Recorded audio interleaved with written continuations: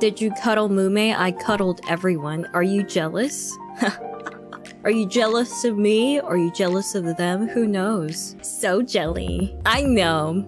Tisk. Oh, you'd love to see it. Jealous of everyone. oh, silly. Maybe one day. Were you the big spoon or the little spoon? Well, I'll leave that up to you guys. Let your imagination run wild.